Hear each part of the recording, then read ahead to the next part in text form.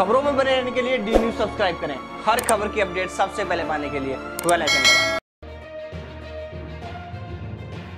भारतीय सेना के अस्पताल में भर्ती 24 लोग और आईटीबीपी के 45 जवान मिले कोरोना पॉजिटिव। दिल्ली में भारत तिब्बत सीमा पुलिस के 45 जवानों के कोरोना पॉजिटिव होने का मामला सामने आया है। इनमें से दिल्ली में आंतरिक सुरक्षा में तैनात किए गए 43 और दिल्ली पुलिस के साथ लॉ एंड ऑर्डर ड्यूटी के लिए तैनात किए गए दो कार्मिक शामिल हैं। दूसरी ओर सेना के अस्पताल में 24 लोग कोरोना पॉजिटिव पाए गए हैं। सेना के सूत्रों के मुताबिक, दिल्ली में भारतीय सेना के अनुसंधान और रेफरल अस्पताल में सेना के 24 लोग कोरोना पॉजिटिव पाए गए हैं। अस्पताल में भर्ती अन्य मरीजों की रिपोर्ट का अभी इंतज़ार है। सेना के प्रवक्ता कर्नल अमन आनंद ने बताया कि कोरोना पॉजिटिव सभी लोग भारतीय सेना के अस्पताल के कैंसर विभाग में भर्ती किए गए थे।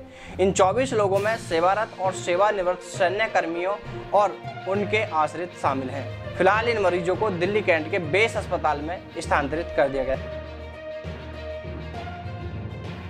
कोरोना वायरस का कहर इस वक्त पूरी दुनिया में है। चमगादड़ों इंसानों और कुत्ते बिल्लियों से तो कोरोना संक्रमण की बात आपने सुनी होगी। लेकिन अब एक अफ्रीकी देश में बकरी और फल कोरोना संक्रमित पाए गए हैं। इस देश का नाम है तंजानिया। तंजानिया में एक बकरी और एक विशेष प्रकार का फल, पोपो, में कोरोना का संक्रमण पाया गया है। हालाँकि इसके बाद वहाँ के राष्ट्रपति जॉन मांगुफुली ने टेस्ट किट खराब होने की बात कहते हुए सेना को टेस्ट किट की जाँच करने के आदेश दिए हैं। दरअसल, तंजानिया में बकरी, पोपोफल और भेड़ के सैंपल लिए गए थे। सैंपलों को जाँच के लिए तंजानिया की लेबोरेटरी में भेजा गया, जहाँ जाँच में बकरी और पोपोफल कोरोना पॉजिटिव पाए गए थे।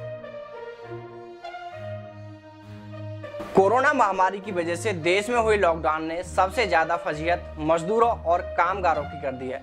देश के अलग अलग राज्यों में हज़ारों मजदूर फंसे हुए हैं। वे अपने घर लौटने का इंतज़ार कर रहे हैं। कई मजदूरों को तो लॉकडाउन की वजह से दो वक्त की रोटी के भी लाले पड़ गए हैं। हालाँकि मजदूरों की समस्या को देखते हुए केंद्र सरकार ने कुछ दिन पहले छह स्पेशल श्रमिक ट्रेनें चलाई थी।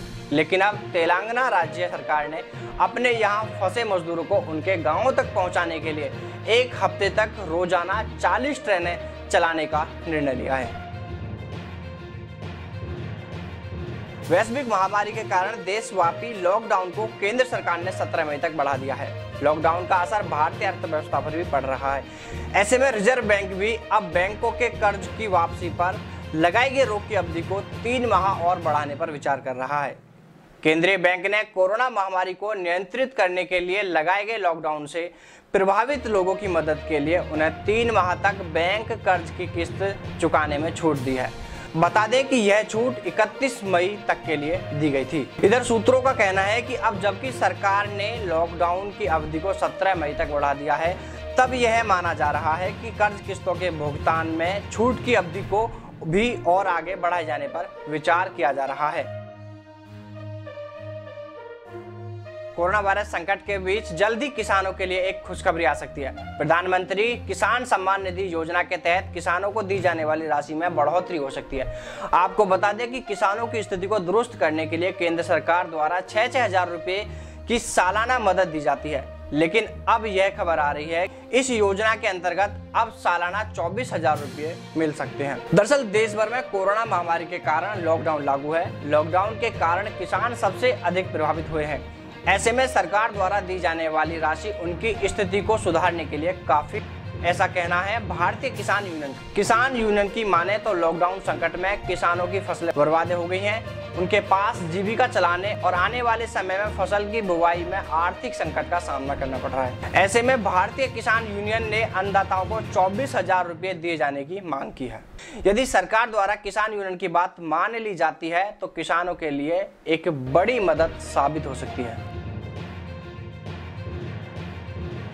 और अब खबर जरा हटके। जामिया मिलिया इस्लामिया की छात्र नेता सुफरा जरगर दिल्ली दंगों के मामले में तिहाड़ जेल में बंद है, लेकिन अभी भी वो लगातार खबरों में बने हुए हैं।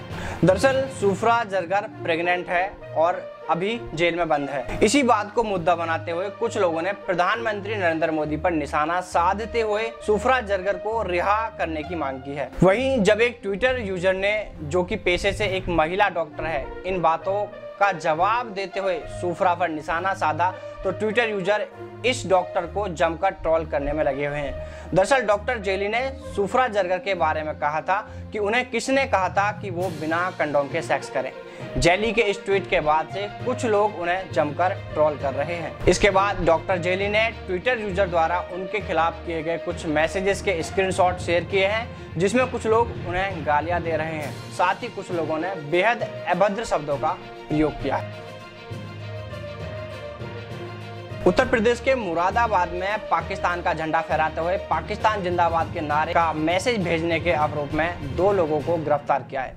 पुलिस प्रवक्ता ने बताया कि वरिष्ठ पुलिस अधीक्षक के मोबाइल नंबर पर पाक जिंदाबाद और पाकिस्तान का झंडा फहराते हुए मैसेज भेजने के आरोप में सोमवार को भोजपुर क्षेत्र के ताहा मदन निवासी मोहम्मद रफीक अहमद तथा गामा के खिलाफ सिविल लाइन स्थित पुलिस थाने में मामला दर्ज किया गया है। उन्होंने बताया कि उप निरीक्षक हरेंद्र सिंह ने तहरीर में कहा है कि मुरादाबाद के वरिष्ठ पुलिस अधीक्षक के सरकारी मोबाइल नंबर पर एक वर्ग विशेष की धार्मिक भावनाओं को आहत करने तथा पाकिस्तान का झंडा फहराते हुए पाकिस्तान जिंदाबाद नारे लगाने का व्हाट्सएप मैसेज मिला था।